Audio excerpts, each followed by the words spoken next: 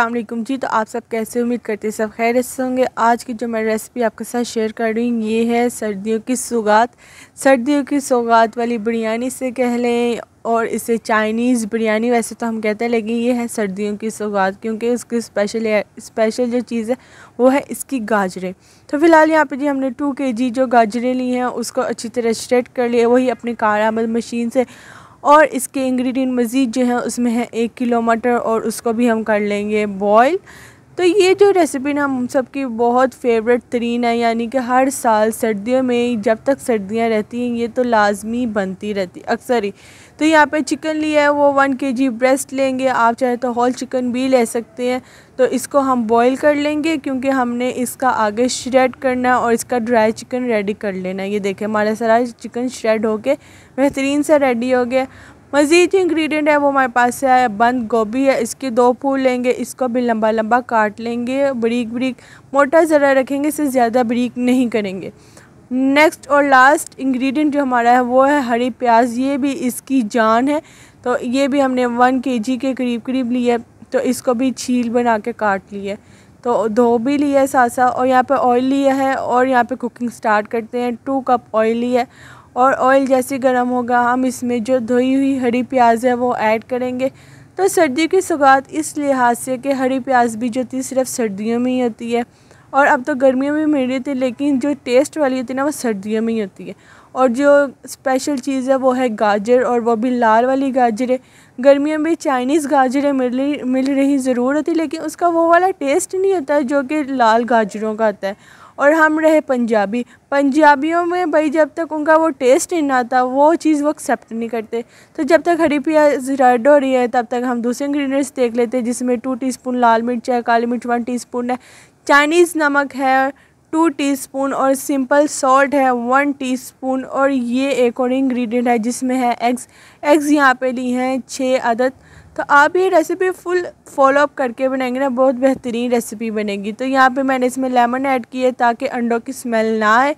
तो जैसे ही हरी प्याज बेहतरीन सा फ्राई हो रहा है, ये देखें कितना अच्छा फ्राई हो गया। बिल्कुल थोड़ा सा कलर चेंज हो जाए।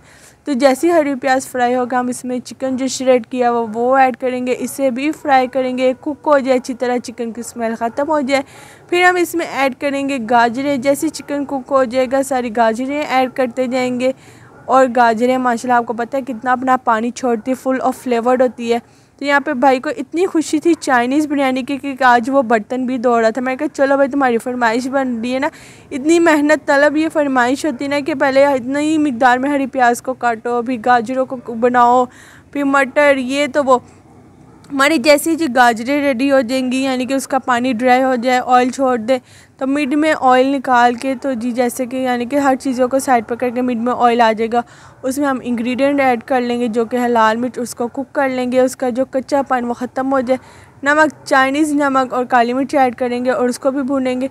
जैसे ही मिर्च भुनी जाएगी, हम उसमें ऐड करेंगे अपने बॉईल किए हुए मटर। इसको हिलाएँ, जुलाएँगे और रेडी कर लेंगे। यहाँ पे नमक कम लग रहा था, मामा ने मज़ीद नमक ऐड किया। आपको जो चीज़ कम लगे, आप भी कर ऐड कर सकते हैं। ये लीजिए, अब हम यहाँ पे एग्स ऐड करेंगे और एग्स को अच्छी तरह कुक करेंगे, यानी कि अंडों की स्मेल ख़त्म हो जाए, अंडों की स्मेल ना आए। अगर अंडों की स्मेल आपकी बिरयानी में ना, आपकी सारी चीज़ ख़राब हो जानी है। तो जी, यहाँ पे अच्छी तरह अंडे कुक कर लेते तो हम रहे पंजाबी। पंजाबी जो होते ना स्पाइसी ज़रा पसंद करते तो बस हमने चाइनीज़ बिरयानी को भी ना, हमने घर वालों ने देसी बनाया हुआ तो हरी मिर्च हरी मिर्च कह रही लाल मिर्च थोड़ी सी तेज़ बीच में रखेंगे। क्योंकि यहाँ पे हमने ऐड की टू टीस्पून अगर आपको कम लाल मिर्च पसंद है तो वन टीस्पून ऐड करेंगे तो ये ले जी। यहाँ पे अंडे भी बेहतरीन कुक हो गए हैं, उनकी स्मेल हो गई ख़त्म और बंद गोभी ऐड करेंगे। इसे बस थोड़ा सा एक दो मिनट ही हिलाएँगे और फ्लेम कर देंगे ऑफ़ क्यों? इसका थोड़ा सा कच्चापन रहने देंगे। जब खाना खाएँगे, उसमें थोड़ी सी क्रंच क्रंच सी बंद गोभी आएगी, बहुत मज़े का लगता है ये फ्लेवर। तो ये लीजिए, हमारा मसाला बेहतरीन रेडी हो गया। यहाँ पर आ गए चावल। चावल जो हमारे हैं, वन के जी है। वन से भी थोड़े से ऊपर ऊपर थे, वन के जी ही लगा लिया। तो इनको सौ किए टू आवर्स गुजर चुके हैं और इनको बॉईल कर लेंगे। बॉईल कैसे करेंगे? जिसमें हम नमक डालेंगे और जिस तरह बिरयानी का रखते हैं ना, दो कनी चावल, उस तरीके से इसको कर लेंगे। अब आगे जी हमारी मिक्सिंग की बारी, चावल की लेयर लगाएँगे और मसाले की लेयर लगाएँगे और इसे अच्छी तरह मिक्स कर लेंगे। इसको ये नहीं करते कि चावल की लेयर लगा के और मसाले की लेयर लगा के दम पे लगा दिए, छोड़ दिए, नहीं। इसको साथ साथ मिक्स करते जाएँगे, इसलिए इसको ना ज़्यादा कनी पे छोड़ेंगे चावल को।